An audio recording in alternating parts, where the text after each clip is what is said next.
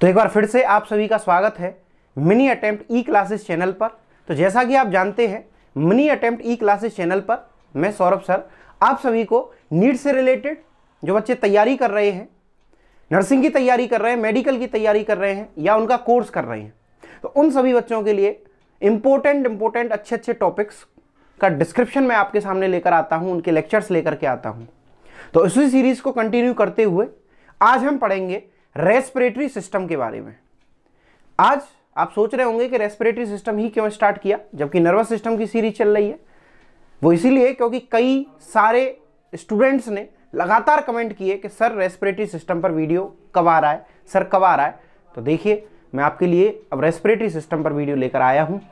तो क्लास को शुरू करने से पहले एक पॉजिटिव, एक मोटिवेशनल थॉट के साथ में हम क्लास शुरू करेंगे। तो वो आपकी स्क्रीन पर है, आप देखिए।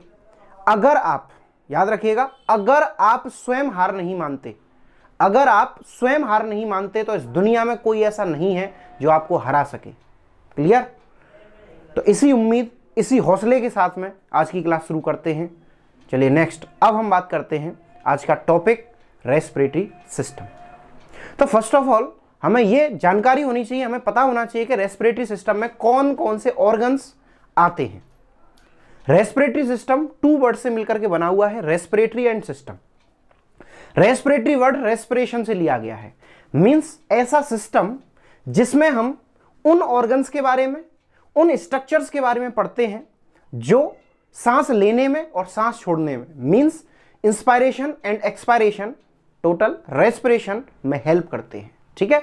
तो उन्हीं के बारे में आज हम डिस्कस करेंगे। तो उरी सीरीज़ में सबसे पहला आता है नोज़ अगर हम रेस्पिरेटरी सिस्टम की बात करें तो उस सीरीज़ की अगर हम बात करें तो सबसे पहले आता है नोज़ देन उसके बाद में फेरिंग्स फेरिंग्स के बाद में आता है लेरिंग्स लेरिंग्स के बाद में आती है ट्रेकिया और ट्रेकिया फिर फर्दर टू पार्ट्स में डिवाइड हो जाती है राइट एंड लेफ़्ट ब्रोंकस में. देन ब्रोंकस ब्रोंक्यूल्स में डिवाइड होते हैं और लास्ट में लंग्स आ जाते हैं या एल्वलोई आ जाती हैं. क्लियर तो ये था हमारा रेस्पिरेटरी ट्रैक्ट जिसको आप क्लियरली एक डायग्राम के थ्रू देख सकते हैं. सबसे पहले आपको नेजल कैविटी दिखाया है, फिर फेरिंग्स दिखाया है, फिर लेरिंग्स दिखाया है ट्रैकिया दिखाई है ब्रोंक्यूल्स दिखाए हैं ब्रोंकाई दिखाई है एलवलोई दिखाई है और डायफ्राम दिखाया है। तो ये डायग्राम आप अपना ड्रॉ कर सकते हैं नोटबुक में। चलिए, अब बात करते हैं हम नेक्स्ट जो सबसे पहला ऑर्गन है रेस्पिरेटरी सिस्टम का नोज़ नोज़ है क्या? Nose are the prominent structure that present between the eye आप देख सकते हैं गौर से, मेरे चेहरे, आप सभी के चेहरे पर नोज़ तो होती है तो दोनों आँख के बीच में एक उभरा हुआ ऐसा एक प्रोमिनेंट एरिया है, जिसके थ्रू हम सांस लेते हैं, जिसके थ्रू हमारे रेस्पिरेटरी सिस्टम में एयर की एंट्री होती है। तो हम कह सकते हैं this is the first organ of respiratory system लिख लीजिए, कहीं भी नोट कर लीजिए, ये फ़र्स्ट ऑर्गन है रेस्पिरेटरी सिस्टम का। अगर आपसे क्वेश्चन पूछा जाता है तो उसका आंसर यही होगा। ठीक है? और ये एक प्रोमिनेंट एरिया है जो कि दोनों आँखों के बीच में पाया जाता है और एक रेस्पिरेटरी ट्रैक्ट के लिए एंट्रेंस की तरह ये वर्क करता है। अब नोज़ के अंदर होता क्या क्या है? तो nose consist of second point है nose consist of olfactory organ olfactory means सांस लेने के साथ साथ जो बाहर से स्मेल जो हम महसूस कर पाते हैं जो सूंघने की हमारी क्षमता होती है वो ऑल फैक्ट्री सेंस ऑर्गन की वजह से या ऑल फैक्ट्री ऑर्गन की वजह से होती है जो कि ऑल फैक्ट्री नर्व हमारी नाक में खुलती है ये हेल्प करती है आ, किसी भी स्मेल को आइडेंटिफाई करने के लिए। क्लियर चलिए अब बात करेंगे हम सेकेंड ऑर्गन जिसका नाम है फेरिंग्स देखिए फेरिंग्स को हम कॉमन पाथवे बोलते हैं। It is a common pathway for food and air याद रखिएगा pharynx is the common pathway for food and air आप डाइजेस्टिव सिस्टम पढ़िए, वहाँ पर भी फेरिंग्स आएगा। रेस्पिरेटरी पढ़ेंगे, वहाँ पर भी फेरिंग्स आएगा। इसीलिए इन दोनों में हम इसको कंबाइन करते हैं। और बोला भी गया है, ये कॉमन पाथवे है फ़ूड और एयर का। तो ऐसे कई सारे क्वेश्चंस पूछे जाते हैं कॉम्पिटेटिव एग्ज़ाम में। तो सबसे पहला क्वेश्चन जो पूछा जाता है, वो इसकी लेंथ पर पूछा जाएगा। तो लेंथ होती है इसकी लगभग 12 से लेकर के 14 centimetre 12 to 14 centimetre and further इसको थ्री पार्ट्स में डिवाइड किया गया है अकॉर्डिंग टू नो लोकेशन यानी जगह के अकॉर्डिंग इसको तीन पार्ट में डिवाइड किया है। Number one nasopharynx number two oropharynx और नंबर थ्री लेरिंगोफेरिंग्स नेजोफेरिंग्स क्या है? फेरिंग्स का वो हिस्सा जो नाक के पीछे की तरफ़ आता है। ओरोफेरिंग्स क्या होता है? ओरल कैविटी के पीछे फेरिंग्स का जो हिस्सा आता है, उसे हम ओरोफेरिंग्स बोलते हैं और लेरिंग्स के पास में नियर टू द लेरिंग्स जो एरिया फेरिंग्स का होता है, उसे हम लेरिंगो फेरिंग्स बोलते हैं। क्लियर हो गया? चलिए अब बात करेंगे हम लेरिंग्स की। तो लेरिंग्स को हम वॉइस बॉक्स के नाम से जानते हैं। किस नाम से जानते हैं? वॉइस बॉक्स के नाम से। जो हम अभी बोल पा रहे हैं, वो किसकी हेल्प से बोल पा रहे हैं? लेरिंग्स की वजह से। क्लियर हो गया? अब बात आती है लेरिंग्स की लोकेशन कहाँ है? लेरिंग्स प्रेजेंट कहाँ होता है? तो इसकी लोकेशन पर अगर आपको सवाल आएगा तो आपको आंसर देना होगा C three two C six vertebra के सामने। किधर होता है ये? सी थ्री से सी सिक्स वर्टिब्रा के सामने। मैं आपको थोड़ा सा बता दूँ कि हमारी बैकबोन 33 वर्टिब्रा से मिलकर के बनी हुई है, जिसमें से सर्वाइकल में जो फ़र्स्ट सेवन वर्टिब्रा होते हैं, उनको हम सर्वाइकल वर्टिब्रा बोलते हैं, उन्हीं के सामने मीन्स सी थ्री से सी सिक्स के सामने ये प्रेजेंट होता है लेरिंग्स चलिए उसके बाद में नेक्स्ट अब आता ही है इसकी लेंथ की बात तो इसकी लेंथ होती है लगभग 4.2 सेंटीमीटर कितनी लेंथ होती है इसकी? 4.2 सेंटीमीटर नोट कर लीजिए। चलिए, अब नेक्स्ट ऑर्गन आता है ट्रैकिया ट्रैकिया को हम विंड पाइप के नाम से जानते हैं। जैसे ईसोफेगस को हम फ़ूड पाइप के नाम से जानते हैं, ऐसे ही ट्रैकिया को हम विंड पाइप के नाम से जानते हैं, क्योंकि इसमें से होकर के लंग्स के लिए एयर जाती है। लोकेशन की अगर हम बात करें तो ये बिल्कुल मिड लाइन में, यानी नेक के बिल्कुल बीचों बीच में होती है, और at the level of C six to T four vertebra cervical vertebra six से लेकर के थोरेसिक वर्टिब्रा फोर तक इसकी लोकेशन होती है, उसी के सामने ये प्रेजेंट होती है। चलिए इसके बाद में, अब इसकी लेंथ की बात करें तो लगभग 10 से 15 सेंटीमीटर इसकी लंबाई होती है और इंचेस में अगर आपसे क्वेश्चन पूछा जाएगा तो 4 टू 6 इंचेस क्लियर ठीक है। अब हम आते हैं सबसे मेन टॉपिक जो सबसे इंपॉर्टेंट टॉपिक है रेस्पिरेटरी सिस्टम का, जो सबसे मेन इंपॉर्टेंट पार्ट है, वो है लंग्स क्योंकि विदाउट लंग्स रेस्पिरेटरी सिस्टम का कोई भी महत्व तो नहीं है, इसका कोई सिग्निफिकेंस नहीं है। चलिए तो लंग्स क्या है? जैसा कि आप जानते हैं कि लंग्स दो होते हैं तो it is a paired organ याद रखिएगा लंग्स पेयर्ड ऑर्गन है, ये पेयर में पाए जाते हैं, संख्या में दो होते हैं और ये थोरेसिक कैविटी में प्रेजेंट होते हैं, ठीक है? तो lungs are pair of respiratory organs and situated in thoracic cavity ठीक है? आपको दिख भी रहा होगा।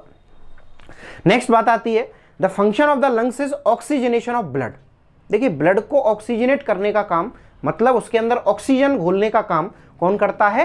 लंग्स करते हैं, ठीक है? नेक्स्ट दोनों लंग्स की वेट कितना होता है? तो राइट लंग्स का वेट होता है 625 ग्राम, यानी 625 ग्राम्स एंड लेफ़्ट लंग का वेट होता है थोड़ा सा कम, से 575 ग्राम ओके शेप की अगर हम बात करें तो इसकी शेप कॉनिकल शेप होता है ये, यानी कोन के जैसा होता है एंड कलर अगर हम चाइल्ड में बात करें, बच्चों में देखें तो पिंक कलर होता है, और यंग में ब्राउन और ग्रेश कलर का ये लंग्स होते हैं, ठीक है? अब नोट करके एक पॉइंट लिखा हुआ है जिसको आपको भी नोट करना है कि peoples live in polluted area the colour of lungs is dark mottled means जो लोग पॉल्यूटेड एरिया में रह रहे हैं तो वो कहीं ना कहीं कार्बन को इनहेल कर रहे हैं। अगर कोई स्मोकिंग करता है तो वो भी कहीं ना कहीं कार्बन को इनहेल कर रहा है। तो वहीं ये कार्बन डिपॉजिट होने लगता है लंग्स में तो लंग्स का कलर कैसा हो जाता है? डार्क कलर हो जाता है, मोल्टेड मिट्टी जैसा कलर होता है, कीचड़ जैसा कलर हो जाता है और लंग्स डैमेज हो जाते हैं। आप नीचे देख भी सकते हैं, मैंने आपको लंग्स दोनों का डायग्राम दिखाया है। दोनों जो लंग्स हैं वो हट के दोनों साइड में, यानी लिटरल साइड में प्रेजेंट होते हैं, ठीक है? और थोरेसिक कैविटी में होते हैं। आप गौर से देखिए। चलिए, उसके बाद में नेक्स्ट अब बात आती है एक्सटर्नल फीचर ऑफ़ लंग्स। यानी लंग्स के फीचर्स क्या क्या हैं? इसकी शेप क्या होगी, इसमें कौन कौन से पोर्शन होते हैं? तो सबसे पहले मैंने आपको शेप बताऊँ तो इसकी शेप होती है कॉनिकल शेप और इस लंग्स में एपेक्स और बेस नाम के दो पार्ट होते हैं। जो एपेक्स होता है वो ऊपर वाला पोर्शन होता है, जिसे हम जैसे कोई पहाड़ है, उसकी चोटी को हम एपेक्स बोलते हैं। तो इसकी भी शेप कुछ कुछ ऐसी ही होती है। तो ऊपर वाला जो पोर्शन आप डायग्राम में देख सकते हैं, मैंने राउंडेड रेड कलर से राउंडेड कर रखा है। तो ये एपेक्स होता है और नीचे बेस बेस मीन्स पूरी सतह, नीचे वाली जो सतह होती है, जो चौड़ी होती है एज कंपेरिजन टू एपेक्स तो ये आप नीचे गौर से देख सकते हैं। ठीक है? तो दो पार्ट हो गए। नेक्स्ट अब बात आती है। इसके अंदर होते हैं तीन बॉर्डर बॉर्डर मीन्स किनारे। तो तीन बॉर्डर कौन कौन से हैं? एक एंटीरियर बॉर्डर एक पोस्टीरियर बॉर्डर और एक इन्फीरियर बॉर्डर दो सरफेस होती हैं। कौन कौन सी? कोस्टल सरफेस और मीडियल सरफेस क्लियर हो गया? अब एक एक करके इन पर डिस्कस करेंगे कि एपेक्स क्या है बेस क्या है सरफेस क्या है बॉर्डर क्या है. तो apex is a blunt superior end of lungs it project outward या upward above the level of first rib यानी पहले नंबर की रिब से भी जस्ट ऊपर ये निकला हुआ होता है और बेस वाला जो पोर्शन होता है इंफीरियर पोर्शन होता है, नीचे वाला पोर्शन है जो कि डायफ्राम के ऊपर रखा हुआ है डायफ्राम के ऊपर रेस्टेड है। चलिए नेक्स्ट अब हम बात करते हैं बॉर्डर्स के बारे में।